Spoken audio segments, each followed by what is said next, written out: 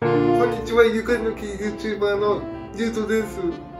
先日、ゆかりのきの広告事業部のミーティングで、今年のバレンタインについて話が合いました。